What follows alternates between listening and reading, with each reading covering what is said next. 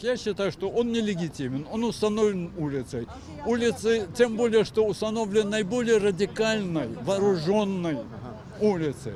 Просто предатель э, с- своего народа, это точно. А предатель своих избирателей. Потому что пришел он к власти именно потому, что он э, обещал э, установление хороших отношений с Россией. Я против того е, путі. Народ, народ, ми теж ж народ. Чого нас не прислухаються?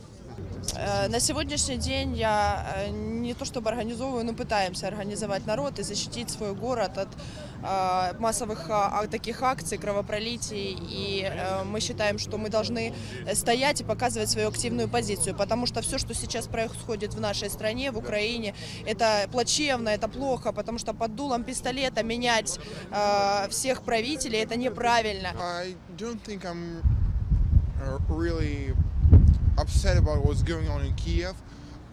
I know that it's been a terrible tragedy. Lots of people got killed, and of course, well, it's not the way I saw it coming.